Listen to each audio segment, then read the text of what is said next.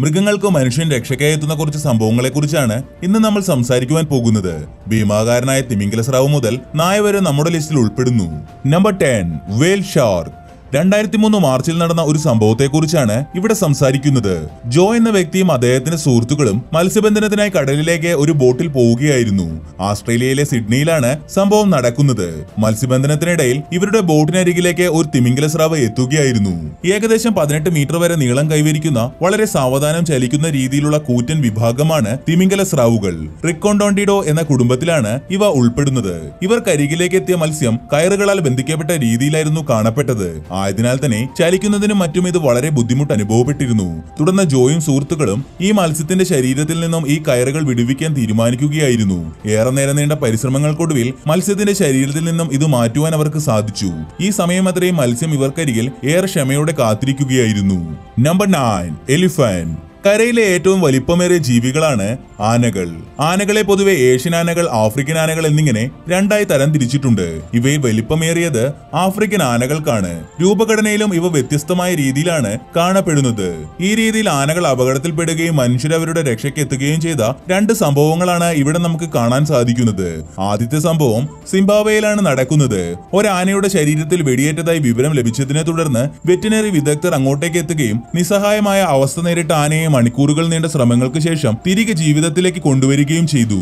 അടുത്ത സംഭവം നടക്കുന്നത് തായ്ലൻഡിലാണ്. ഒരു അമ്മ ആനയും കുഞ്ഞനാനയും സഞ്ചരിക്കവേ കുഞ്ഞനാന ഒരു കിണറ്റിൽ വീണു പോവുകയായിരുന്നു. യാതൊരു രീതിയിലും രക്ഷപ്പെടാനുള്ള സാഹചര്യം ഇതിനുണ്ടായിരുന്നില്ല. തുടർന്ന് അമ്മയാന സഹായത്തിനായി അഭ്യർത്ഥിക്കുന്ന വേണം സമീപത്തിലൂടെ നടക്കുകയും ഇത് ശ്രദ്ധയിൽപ്പെട്ട കുറച്ചാളുകൾ ഇങ്ങോട്ടെത്തി രക്ഷാപ്രവർത്തനം ആരംഭിക്കുകയും ചെയ്തു. ഈ സമയം അത്രയും വളരെ ക്ഷമാപൂർവം അല്പം മാറി നിന്ന് ഇത് വീക്ഷിക്കുകയായിരുന്നു അമ്മയാന.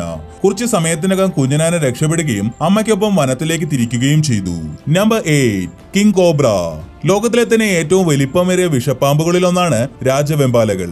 തെക്ക് കിഴക്കൻ ഏഷ്യയിലെ കാടുകളിലാണ് ഇവയെ ഏറെയായി കാണാൻ കഴിയുന്നത്. ഇവ ശരാശരി മൂന്ന് മുതൽ നാല് മീറ്റർ വരെ നീളം കൈവരിക്കുന്നു. കൂടാതെ തൊലിയുടെ നിറത്തിന്റെ കാര്യത്തിൽ ആവാസ വ്യവസ്ഥ ചെറിയ രീതിയിലുള്ള സ്വാധീനം ചെലുത്തുന്നുമുണ്ട്. പ്രധാനമായും എലി പല്ലി മറ്റു പാമ്പുകൾ തുടങ്ങിയവയൊക്കെയാണ് ഇവ ഭക്ഷണമാക്കുന്നത്. ഉൾവനങ്ങളിലാണ് ഇവയെ കാണപ്പെടുന്നതെങ്കിലും അപൂർവമായി ഇവ ജനവാസ മേഖലകളിലേക്കും കടന്നെത്താറുണ്ട്. ഈ രീതിയിൽ ജനവാസ മേഖലകളിലേക്ക് എത്തപ്പെട്ട ഒരു ഭീമൻ രാജവെമ്പാലയ്ക്ക് ഒരു കൂട്ടം ഫോറസ്റ്റ് ഉദ്യോഗസ്ഥർ വെള്ളം നൽകുകയാണ്. ഇന്ത്യയിലാണ് ഈ സംഭവം നടക്കുന്നത്. അതീവ ദാഹം മൂലം ഈ രാജവെമ്പാല ഇവർ നൽകുന്ന വെള്ളം യാതൊരു ആക്രോശവും കൂടാതെ കുടിക്കുകയും ചെയ്യുന്നുണ്ട്. ലോകത്താകമാനം ഏറെ ശ്രദ്ധ ലഭിച്ച ഒരു ദൃശ്യമായിരുന്നു ഇത്. നമ്പർ സെവൻ ഫോക്സ് കബ് രണ്ടായിരത്തി പതിമൂന്ന് ജൂണിൽ ചിത്രീകരിക്കപ്പെട്ട ഒരു വീഡിയോ ആണിത് വീഡിയോയ്ക്ക് ആധാരമായ സംഭവം നടക്കുന്നത് റഷ്യയിലാണ്.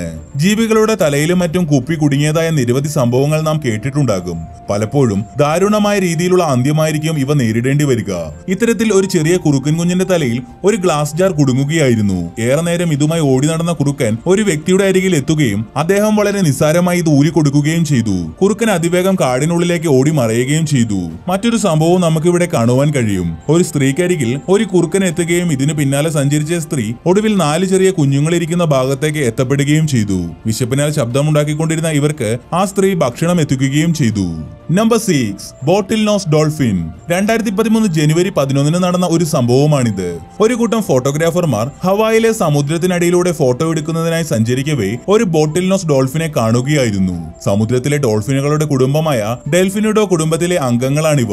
ആർട്ടിക് അന്റാർട്ടിക് സർക്കിൾ പ്രദേശങ്ങൾ ഒഴികെ എല്ലാ പ്രദേശങ്ങളിലും ഇവയെ നമുക്ക് കാണുവാൻ കഴിയും. ഇത്തരത്തിൽ ഫോട്ടോഗ്രാഫേഴ്സും സ്ക്യൂബ ഡൈവേഴ്സും അടങ്ങിയ സംഘത്തിനരികിലേക്ക് എത്തിയ ഡോൾഫിന്റെ ശരീരത്തിൽ ഫിഷിംഗ് ഹുക്ക് തറച്ചിരിക്കുകയായിരുന്നു. അതിനാൽ തന്നെ ഈ ഡോൾഫിൻ നീന്തുന്നതിന് ബുദ്ധിമുട്ട് അനുഭവപ്പെട്ടിരുന്നു. ഇത് ശ്രദ്ധയിൽപ്പെട്ട സ്ക്യൂബ സംഘത്തിലെ ആളുകൾ ഇതിനരികിലേക്ക് എത്തുകയും തറച്ചിരുന്ന വസ്തു എടുത്തു മാറ്റുകയും ചെയ്തു.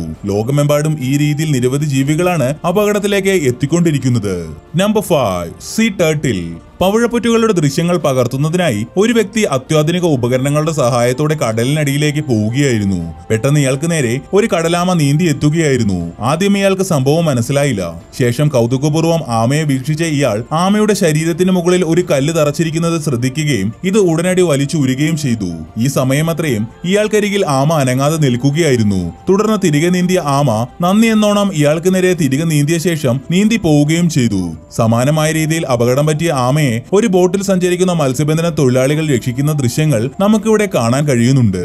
നമ്പർ ഫോർ ചിമ്പാൻസി ഒരു മൃഗശാലയിൽ നിന്നും ചിത്രീകരിച്ചിരിക്കുന്ന ദൃശ്യങ്ങളാണ് ഇവിടെ നമുക്ക് കാണുവാൻ സാധിക്കുന്നത്. ചിമ്പാൻസിയാണ് ഇവിടുത്തെ താരം. പൊതുവെ ബുദ്ധികൂർമ്മത കൂടുതലായി കാണപ്പെടുന്ന ജീവികൾ തന്നെയാണ് ചിമ്പാൻസികൾ. ഉഷ്ണമേഖല ആഫ്രിക്കൻ വനങ്ങളിലാണ് ഇവയെ നമുക്ക് ഏറെയായി കാണാൻ സാധിക്കുന്നത്. മൃഗശാലയിൽ സന്ദർശനത്തിനെത്തിയ യുവതിയുടെ പക്കലുണ്ടായിരുന്ന കവറിൽ ചിമ്പാൻസി ശ്രദ്ധിക്കുകയും അതിനുള്ളിലുള്ള ഭക്ഷ്യവസ്തുക്കൾ വേണമെന്ന് യുവതിയോട് ആവശ്യപ്പെടുകയുമായിരുന്നു. എന്നാൽ പൂർണമായി അടയ്ക്കപ്പെട്ട രീതിയിലായിരുന്നു ഈ കൂടെ കാണപ്പെട്ടിരുന്നത്. മറ്റൊരു വ്യത്യസ്തമായ ഒറാങ്ങുട്ടാന്റെ ദൃശ്യവും ഇവിടെ ഉൾപ്പെടുത്തിയിട്ടുണ്ട്.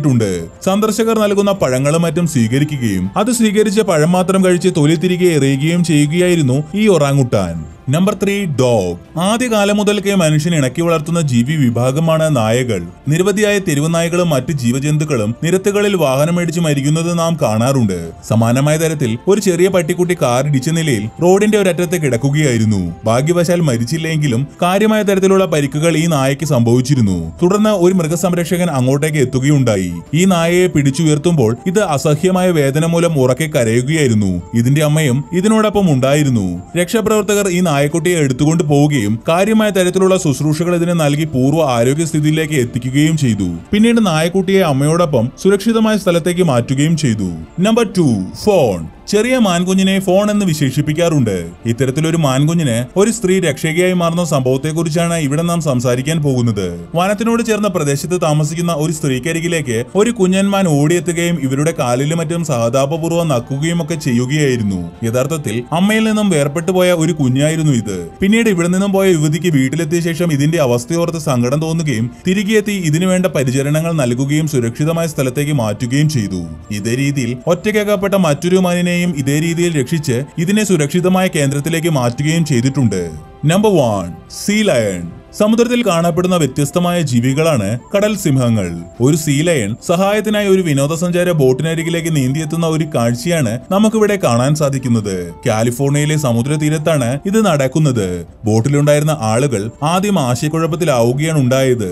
എന്നാൽ ഈ ജീവിയുടെ ശരീരത്തിൽ മുറിപ്പാടുകൾ കണ്ടെത്തുകയായിരുന്നു. ഇതിന്റെ നിസ്സഹായ അവസ്ഥയിൽ അനുകമ്പ തോന്നിയ ആളുകൾ ഇതിന് പ്രാഥമികമായ ശുശ്രൂഷകൾ നൽകുകയും രക്ഷാപ്രവർത്തകരെ വിവരം അറിയിക്കുകയും ചെയ്തു.